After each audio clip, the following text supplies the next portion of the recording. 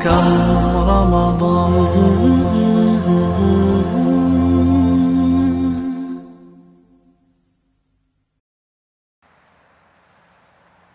بسم الله الرحمن الرحيم والصلاة والسلام على رسول الله وعلى آله وصحبه أجمعين Dragi naši gledatelji, moramo znati da moramo poštivati određene kodekse u životu. To su kodeksi moralnosti koji nam je Islam stavio kao imperativ kada se radi o našem ophođenju prema samima sebi, prema našem okruženju i naravno prema Allahu subhanahu wa ta'ala. Kada se radi o odnosu prema drugima, naročito prema muslimanima, moramo znati da je čast svakoga muslimana neprikosnovena. Naime, Allah subhanahu wa ta'ala nam naređuje da budemo pravedni, a zatim nam poslanik alaihi salatu vesselam govori o tome i to na jednom skupu koji je bio od posljednjih skupova poslanika sallallahu alaihi wasallam, a to je na oprosnom hađu, kada je poslanik sallallahu alejhi ve sellem izrekao oporuke koje su bile od velike važnosti, između ostalih oporuka jeste bila i ta u kojoj kaže u istinu vaši životi, vaši imeci, vaše časti su svete jednih prema drugima.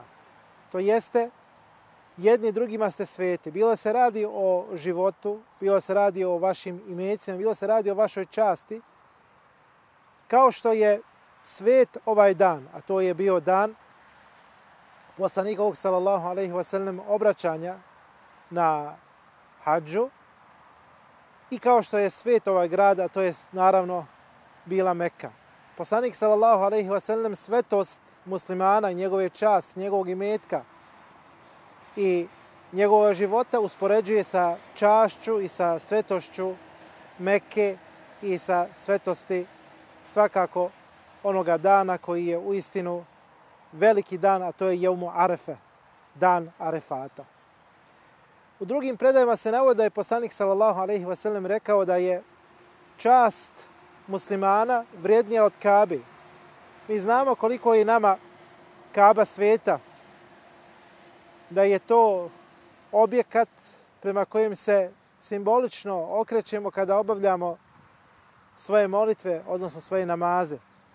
Da je ta strana svijeta nama kao muslimanima sveta i prema njoj izražavamo posebno poštivanje, onako kako je naređeno u skladu sa tekstovima objave.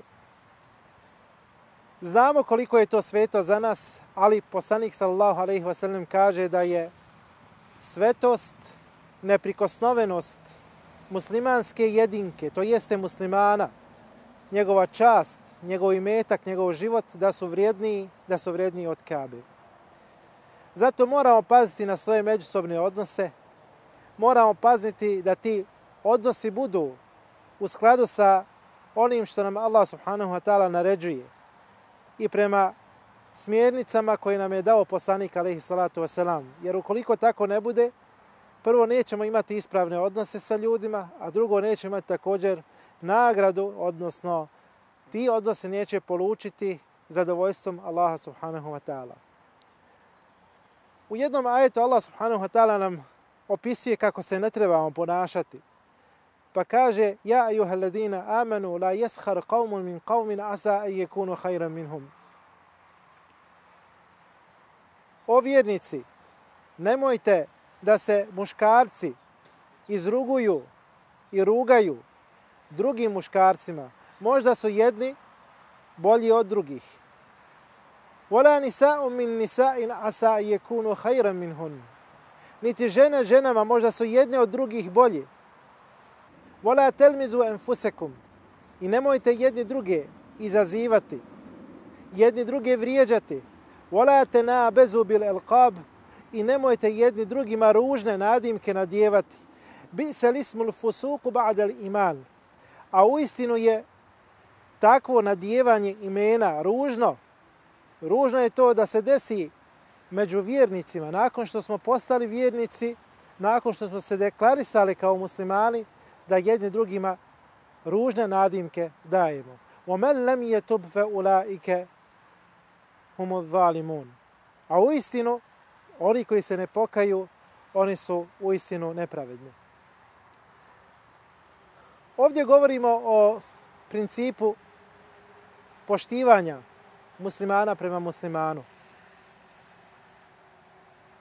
Muslimana kao jedinke, kao muškarca prema drugom muškarcu ili žene prema drugoj ženi. Ti principi našeg obhođenja ne smiju biti zasnovani naravno na međusobnom podcjenjivanju, međusobnoj poruzi, međusobnom ismijavanju po bilo kojim osobinama. Bilo se radi o fizičkim osobinama, bilo da se radi o tome kako se izražavamo. Sve ono što je vezano za jednoga muslimana je neprikosnoveno i sveto drugom muslimanu. Koliko musliman vidi kako nepravilnost, onda će nastojati da tu nepravilnost kod drugog muslimana ispravi, da je nastoji popraviti. Međutim, neće to uzimati kao razlog i kao povod da se s njime ismijava, da mu se ruga, da mu na osnovu toga daje ružan nadimak. U istinu je to ružno. Ružno je to da se desi među vjernicima kao što kaže, kao što kaže Allah subhanahu wa ta'ala.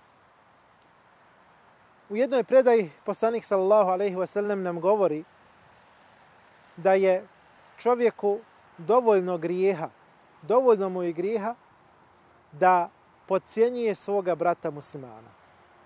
Šta znači dovoljno mu je grijeha? Znači, kada ne bi imao ni jednog drugoga grijeha koji iziskuje Allahovu kaznu i odlazak u vatru, bio bi dovoljan taj grijeh, a to je grijeh podcjenjivanja muslimana.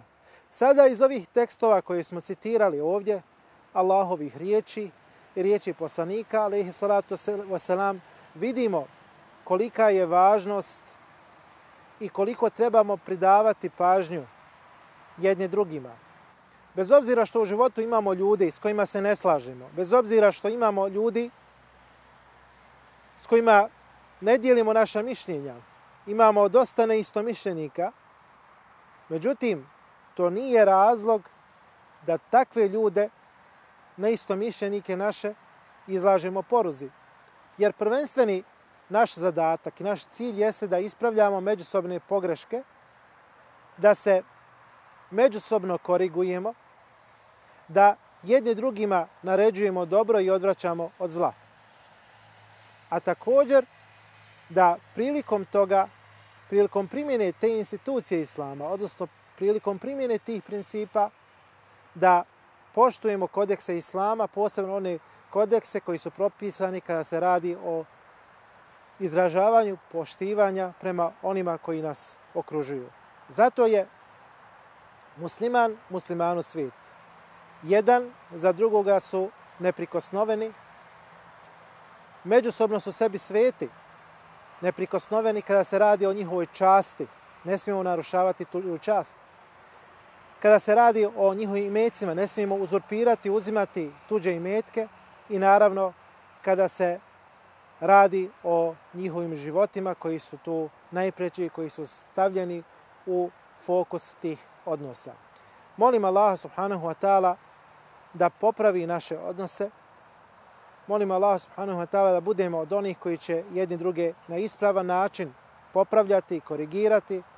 Molim Allah subhanahu wa ta'ala da oprosti svima onima koji pogrešno postupaju i da im ukaže na pravi put. Wassalamu alaikum wa rahmetullahi ta'ala wa barakatuh.